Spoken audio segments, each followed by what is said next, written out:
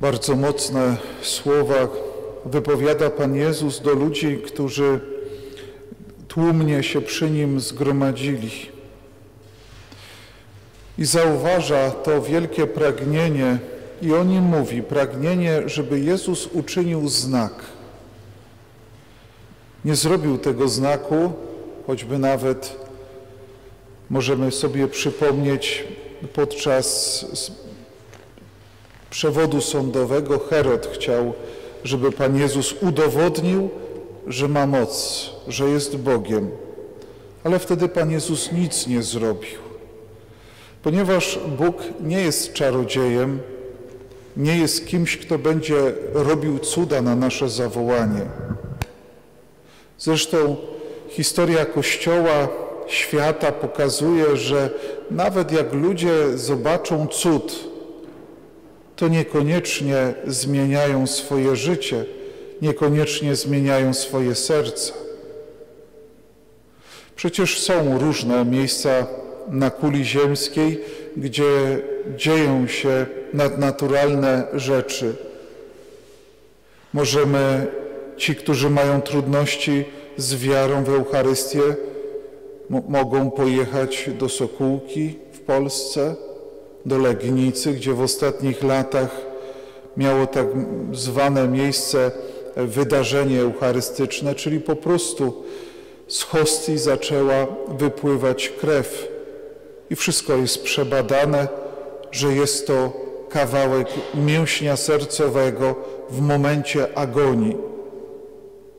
Oczywiście można mówić, że coś takiego można podrobić, że to nieprawdziwe. Pan Bóg daje znaki, ale my jako ludzie niekoniecznie chcemy uwierzyć. I to już jest problem naszej wiary, bo nasza wiara to nie nauka. Nie da się wszystkiego tak, jakbyśmy chcieli sprawdzić dokładnie. Wiara to powierzyć się Bogu, to dać się poprowadzić, to uwierzyć, że Jezus rzeczywiście zmartwychwstał. I o tym znaku mówi dzisiaj Pan Jezus.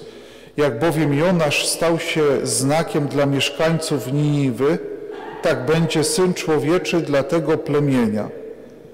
Wiemy, że Jonasz przebywał przez trzy dni e, w wnętrznościach potwora morskiego, a Pan Jezus przez trzy dni leżał w grobie. I dla nas, katolików, najważniejszą, podstawową prawdą wiary jest to, że Jezus zmartwychwstał. Jest pierwszym człowiekiem, który o własnych siłach opuścił cmentarz. Skupiamy się czasem na drugorzędnych objawieniach, formach pobożności, a nie widzimy żywego Boga. Gdyby przyjechała do Złoczowa bardzo znana osoba, niekoniecznie z płaszczyzny religijnej, to tłumy by przychodziły, czy byłby to aktor, czy byłby to znany polityk, czy sam papież. A my czasem nie uświadamiamy sobie, że mamy tak blisko Boga. Tak bardzo blisko, że bliżej być nie może. I nieważne, że to nie jest Berdyczów, czy Częstochowa, czy inne święte miejsce na ziemi. To jest Złoczów. I Bóg jest taki sam. Obecny, żywy, prawdziwy. I tyle osób teraz chodzi po mieście, załatwiają różne sprawy, zajmują się swoimi codziennymi zadaniami, a tak mało osób zdaje sobie sprawę, że inaczej by wyglądało życie, gdyby choć przez chwilę przyszli do swojego Pana, do swojego Zbawiciela. Tu jest kwestia właśnie wiary, zaufać, bo my wiemy, że sobie sami w życiu nie poradzimy, że jesteśmy za słabi, żeby całe nasze życie ogarnąć. Stąd pogłębiajmy naszą obecność przed Bogiem. Niech Matka Boża, ta, która wychowywała Jezusa, pomaga nam i także wychowuje nasze serca. Amen.